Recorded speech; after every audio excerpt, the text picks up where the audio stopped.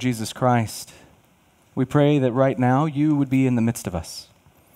We pray that you would bless the meditations of our hearts and the words of my mouth, that they would be acceptable and pleasing in your sight, that you would draw us deeper into the mystery of your love.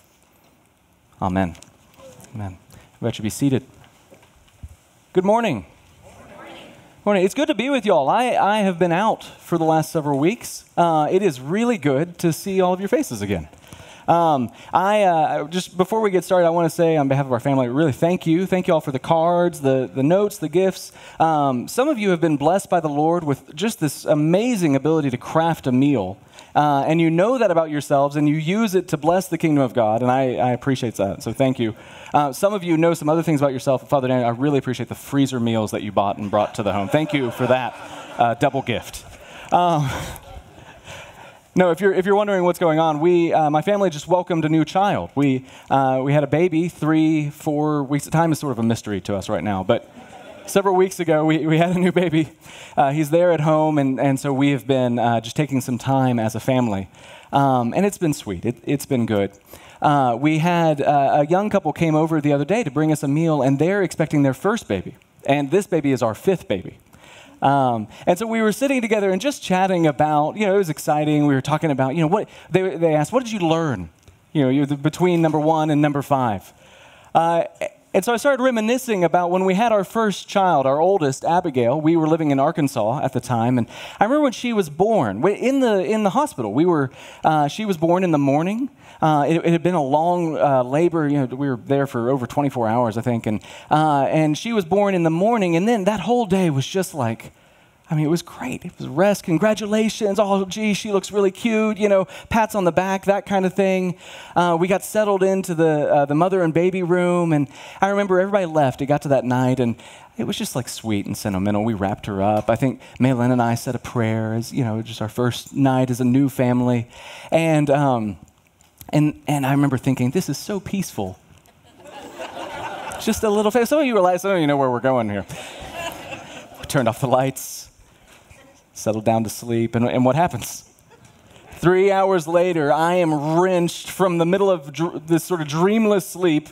All of a sudden, I'm in the dark. It's chaotic and loud. There's this noise that's going off. And in the back of my mind, I'm thinking, there's something I'm supposed to do here, but I couldn't figure out what it was. Look here, you know, babies are a really cute picture, right? It's a sweet moment. There are other things in life that wrench us out out of our dreams, out into the dark and the cold, and it's chaotic, and we don't know what's going on. We're, we're in Second Corinthians. We've, we've been in, um, our New Testament reading has been in Second Corinthians the last couple weeks. We're going to be here for the next few weeks as well. You know, if, if anyone had the sort of the, the experience to be able to speak to suffering, it was the Apostle Paul. Paul's life, life was marked by a profound suffering that seemed to follow him wherever he went. In fact, and this is, I mean, think about this. This was part of his calling, was to suffer. It says in the book of Acts, you remember in the story of Acts how Paul, comes to faith. He's, he's on the road to Damascus. He's taking himself into Damascus because he has hardened his heart against the gospel. And he is going to kill Christians. That's, that's his goal.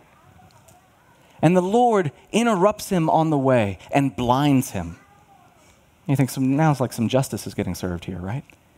But what happens? He, he, gets carried into Damascus. He's blind and helpless. And the Lord speaks to one of his servants in Damascus and says, I want you to go and I want you to heal Paul.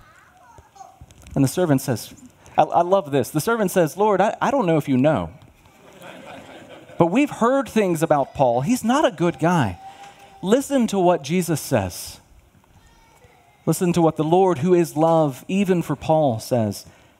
He says, Paul is a chosen instrument of mine to carry my name before the Gentiles and kings and children of Israel, for I will show him how much he must suffer for the sake of my name. How much he must suffer for the sake of my name. How's that for a vision statement? You print that out and you put it above your desk. Your coworkers will be a little concerned for you. but suffering is bound up with the life of Paul. And as Paul goes on, this, this bears out as true. Later on in this letter, Paul is trying to summarize for them what his ministry has been like. And here's what he says He says, Five times I was beaten by the Jews. I received at the hands of the Jews the 40 lashes minus the one. The, the punishment prescribed by the very law that Paul had wrapped himself up in, right? Five times I received at the hands of the Jews the 40 lashes less one. Three times I was beaten with rods. Once I was stoned. Three times I was shipwrecked.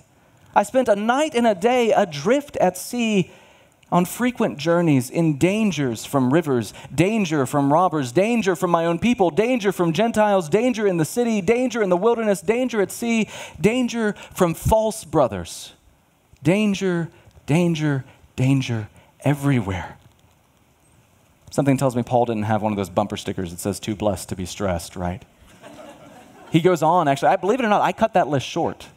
It goes on to talk about the stress that he carries at all times for the gospel. His life is a mess. And you know, Paul was the kind of guy that he was sort of a straight shooter, right? He, he rubbed some people the wrong way because he would just tell it like it was. It didn't matter. This happened with Peter, right? You know, the, the Peter, the sort of leader of the apostles, Paul gets right in his face and says, You're doing the wrong thing. Well, that had made some enemies over time. And there are people that have come into Corinth now. This is the context of the letter. There are people that have come into Corinth and said, Paul's life is a mess. And he's kind of a jerk. Maybe, I don't know. I mean, do you feel like God would treat someone like that who is doing the right thing? I, God's not blessing him. And if God's not blessing him, then maybe it's not worth listening to him, right? And this is what they've come in and they've begun to sow this kind of discord. And Paul's second letter to the Corinthians, what we call the second letter to the Corinthians, right, is ultimately his defense of his ministry, even in the midst of profound, calamitous suffering that has accompanied it. But Paul is also doing something else. Paul, ever the pastor, ever the spiritual father to these, his precious children that he has brought into the faith, that he, you know, as he says in one place, that he's midwifed into the faith. He's concerned he says, if you follow that lie, then you've misunderstood something really important, right? He's concerned that they understand how it is that you can move through suffering within the Christian life. Paul understands firsthand the ways in which suffering can disorient us, the way in which even small pain can cause us to question reality. Think about when you wake up with a minor pain, right? Just like a toothache right? Or your back hurts, or, you know, you, all of a sudden, all of the optimism about the day is gone. You don't sleep well one night. You wake up the next day and you think, I don't, man, I don't know, I don't even like anything anymore. right? But we do this, right? It's, it's silly. We lose perspective. Paul's not even talking about that. He's talking about profound suffering that really disorients us. And Paul is concerned that they know one day you're going to encounter this. How are you going to make it through? As I think about the life of suffering, I'm reminded of a mentor of mine uh, from college, a man named Mark Talbot. Uh, some of you went uh, during Lent. You went through with me a book on suffering that uh, that Talbot had written. Uh, Talbot uh, is a paraplegic. he broke his back when he was 17, and he's um, he's not been able to use his legs since. Uh, but he's a philosopher. He, he's a professor of philosophy. He studies suffering. And so uh, he wrote, um, he's write, written a series of books. This one is the first one. It's called When the Stars Disappear Help from Hope, Help and Hope from Stories of Suffering in Scripture. And one of the things he says very early on in the book is he says, um, Scripture proclaims that whatever God promises is true because he never lies. But what does God promise? In our eagerness to avoid suffering, we can be like children who think their parents have promised something when they have not. And then when we encounter suffering, this can lead us to think that God has broken his promise. But God never promised that his saints wouldn't suffer. In fact, quite the opposite. What does Christ say? The servant is no greater than the master. If they've done this to me, they'll do this to you. To expect we won't suffer, Talbot says, or at least won't suffer profoundly, becomes then a breathtaking error. And Paul, in, out of love for, his, for these, his disciples, who he has brought into the faith, these children of God that he has known and loved so well, wants them to understand when you encounter suffering, how do you move through it? And so he begins to lay out for them his own journey through suffering. He, he makes himself vulnerable before them so that they will understand how to move through. At the beginning of the letter, he says, I, I, don't, I don't want to deceive you about how bad it was. I despaired of life itself. I had given, I had given up hope, but the Lord brought me through it. And then he begins to walk through how that happened. And so, what I'd like to do today is spend a little time walking through that process in our reading today. What he teaches us about how the gospel doesn't just do away with suffering, doesn't give a glib answer to suffering. Those are the worst, right? It's sort of, well, this happened, but at least the gospel doesn't do that. That's nonsense. The gospel comprehends suffering. It gives you a frame within which you can move forward in the midst of profound suffering. So if you have your Bible with you, look with me at 2 Corinthians 4, verse 13. He says, As it says in the scriptures, I believed and so I spoke. We also believe, and so we also speak. Now, this, uh, you know, at first blush, this looks like the most bizarre instance of proof texting in the entire Bible. What are you talking about, Paul? It's like, you know, when uh, I used to teach freshmen in uh, UGA, and, you know, it's like the first time that they read the plagiarism statement and it says, like, we will kick you out if you, miss, you know. And so I've had students cite, like, their mother, right? My roommate said this last night, and there's like a little citation for it. Is that what Paul's doing? No, it's not what Paul's doing. Of course not. Paul's giving you, he's giving a thumbnail. He's assuming that you know the Psalms, or at least that you can go and look them up, right? And he's quoting Psalm 116 and he's, he's pointing to, he's saying, and this is not like some exegetical trick, it's literally what he says. In the same spirit that this was written, I did the same, right? I, having that same spirit, also believed, and because I believed, I spoke. So, what is that spirit? What is the spirit doing in Psalm 116? Well, we have to go back and look at it. And when we do, what we find is that Psalm 116 is a psalm recounting a time of desperation. The psalmist has begged the Lord for deliverance, and now he's looking back and thanking God for that deliverance. Lord, I was in a deep pit and you rescued me. That's the sort of the theme of the song. It's much like parts of the psalm we read today. So, then we ask the question okay, what is it? Where in the psalm does it come up that he says, I believed and so I spoke? Here it is, right in the heart of the desperation. Not on the ends, not where he says, God delivered me. Right in the middle of his desperate time, the psalmist says, here it is, I believed even when I spoke, I am greatly afflicted. I said in my alarm, All men are liars. That's not, that's not positive at all. That's, that's the opposite of, Paul, of positive. Paul says, I didn't lose faith. I was faithful to the Lord. And because I was faithful, Lord, I am in great distress and I'm surrounded by untrustworthy men. I feel like I'm alone, God. Now, this is really important what's happening here.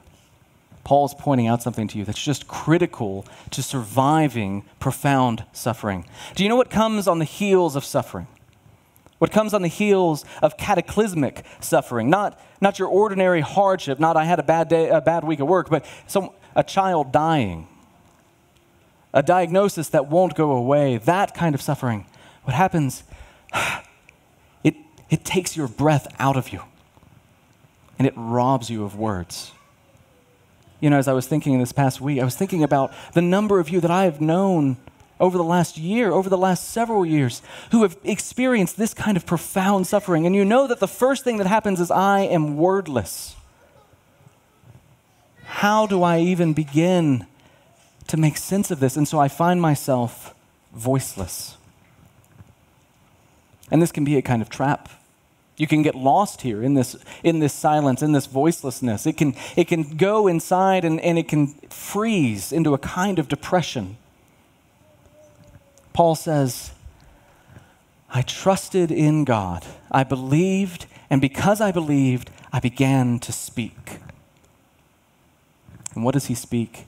Drawing on the words of sacred scripture, Paul begins to complain to the Lord. That's what Scripture teaches us to do. The psalmist takes his complaint straight to the Lord, straight to the one who ultimately is in charge of everything, in charge of all reality. This isn't being whiny. This isn't being you know, reactive and flighty or, or fussy, right? If, if I have a problem at work and I go and I complain to my coworker, that's me being whiny. It doesn't do any good. But if I go to the boss and I say, hey, this hurts, this is wrong. I don't, what's, whatever's going on here is not working. That's me doing exactly what I need to do. Do you know in the Psalms, if you take the Psalms, you know, some of the Psalms are just kind of reflections, they're not really addressed to God. But most of the Psalms are prayers to God, right? They're directly addressed to God. Do you know if you look at the Psalms that are prayers, the majority of those Psalms are Psalms of lament, Psalms of complaint psalm saying, God, help us. I'm in the midst of distress. When I bring my sorrow, even my complaints to God, I am admitting that I have completely lost control. And I am turning to the only one who ultimately is in control. Why is it that we feel like we have to keep up appearances with God? Why is it when I am suffering, I think that somehow I've got to put a, a, smile on my face and pretend with God that everything's all right? As if the Psalms don't themselves say, You've never said a word that I didn't know already. Everything that's within you, God already knows. The Psalms say, Lord, your waves roll over me. You have put me in darkness. You've removed friend and neighbor from me. How long, O Lord, will you keep silent? The psalmist doesn't pretend with God. Even where the psalmist doesn't understand what's going on, he brings it to the Lord. Even where the psalmist has begun to doubt the goodness of God, he brings it to the Lord. Did the dead rise up and praise you, O God? Is that what this is about? He brings it before the Father, and that is an act of faith. Because if I'm talking to you, I believe that there's some purpose to it. If I'm talking to you, then I'm holding on to at least a sliver of hope that says you're listening and you care. And here's the fascinating thing about the Psalms. If these words are indeed the words of Scripture, then where do they come from? Ultimately, where do the words of Scripture come from? Paul tells us in another place all of Scripture is breathed out by God. Talbot, in his book on suffering, says when we pray the Psalms to God in our distress, we are breathing back to God the very words that He breathed out to us. We're finding our breath, finding words, finding a voice within the words that God has gone ahead of us and given to us and said, Here, you're going to need these. But there's more than that, even. It, it, it gets better. Because, you know, at the end of the day, if, if we stop here, you know what we have?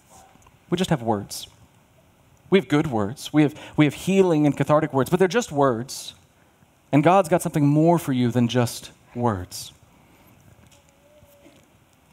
There has to be something that you can fix your life to. It's not enough to just know that God knew ahead of time what I was going to be feeling. I have to believe that I am loved, right?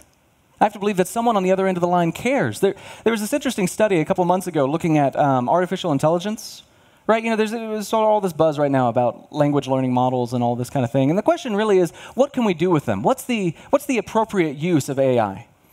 And so there was a team of researchers that, that they were curious, can, I, can AI do therapy? right? I mean, you know, it's, it would have to be text based. It couldn't be in person, but some people have found healing that way. And, you know, it'd be really great if AI could just do therapy for us. And so they did a study where they, with therapists in the room shaking her head, no, this isn't going to work. Um, they did a study where they had people writing in, like a chat. Some of them were writing with an AI person, some of them knew, some of them didn't, probably. Um, some of them were writing to an actual person. Here's what they found, and it's fascinating to me when you didn't know that you were talking to a computer, people began to feel better. But the people who knew that it was just a computer on the other end of the line didn't. When they found out that they were talking to a computer, all that gain, right, doesn't happen.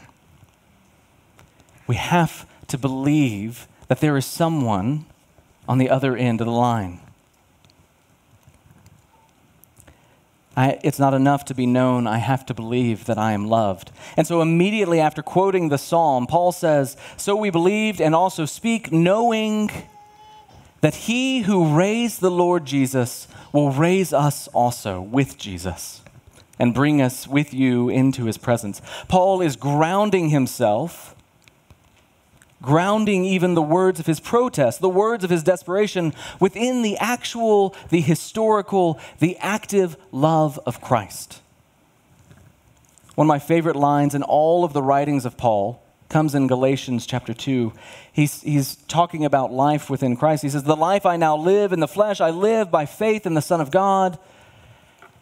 And then it's like Paul, the lecturer, stops for just a second, and Paul, the person, comes through. He says, who loved me and gave himself for me.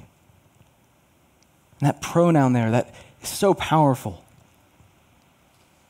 The life that I now live, I live by faith in the Son of God who loved me. This is intensely personal for Paul. You see, Christ didn't just hold the other end of the line. He wasn't on the other end of the computer saying, hey, listen, I'm real, I'm a real person, I promise you. Paul, I mean, Christ stepped through reality and entered into your world. And he said, I'm all the way in, and I will give my body and my blood to secure your passage, to bring you safely home, to secure your healing in the midst of this pain. Listen, brothers and sisters, if you are going to survive the suffering that you will almost certainly encounter in life, you need more than words. You're going to need more than membership. You're going to need a relationship with the Christ who saved you, with the Christ who loves you. Do you have that?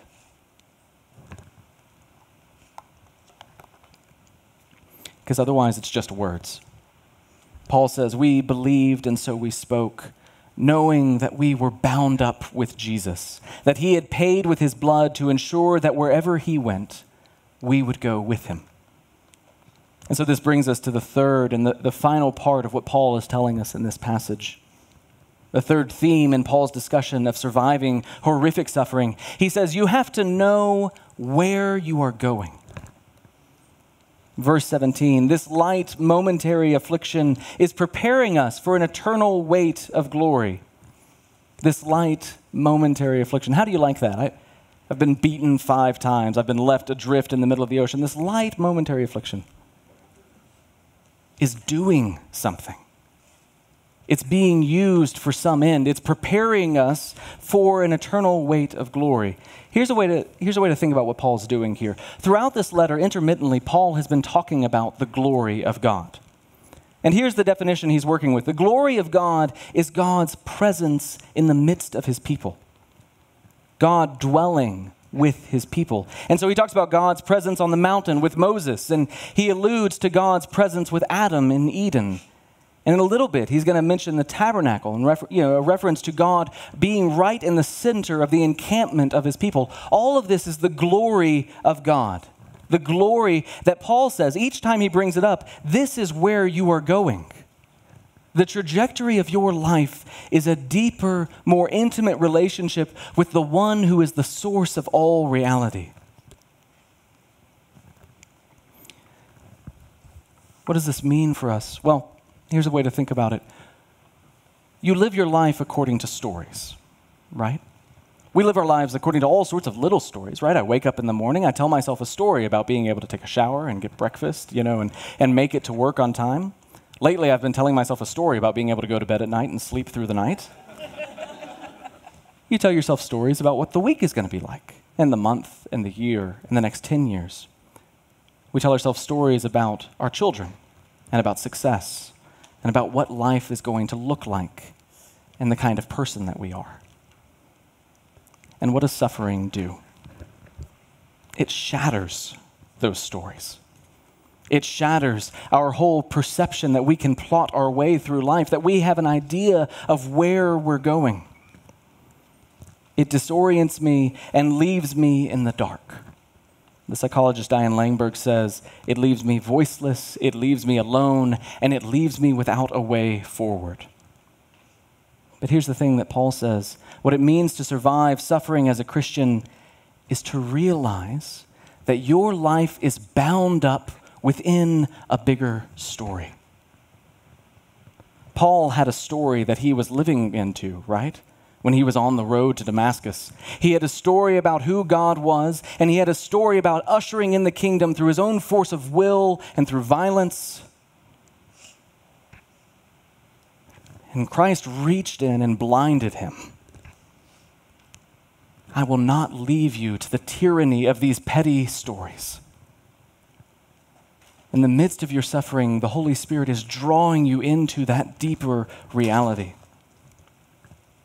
Let me change the metaphor here. Throughout Scripture, uh, one of the themes, one of the metaphors Scripture uses to talk about our internal lives is to talk about a house.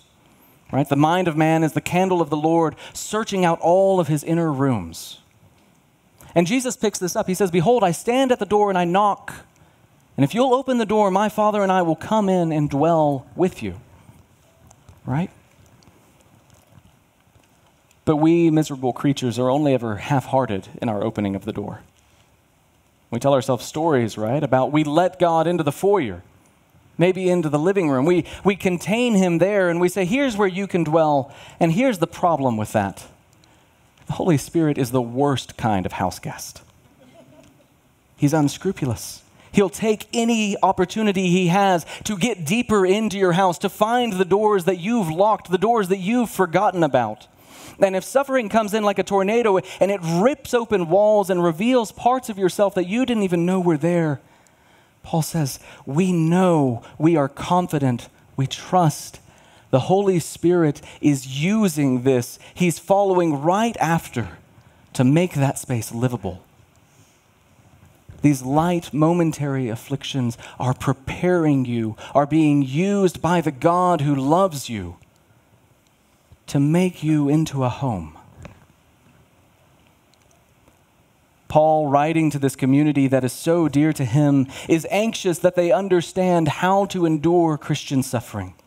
Where suffering robs you of a voice, breathe back the words that God has given to you. Where suffering leaves you alone and in the dark, know that you are bound, body and soul, to the living Christ who has made you his own. And when you find yourself without a frame, without hope for the future, hold fast to the promise of God that you have been woven into a larger story by the one who is faithful to bring you home. In the name of the Father, and the Son, and the Holy Spirit. Amen.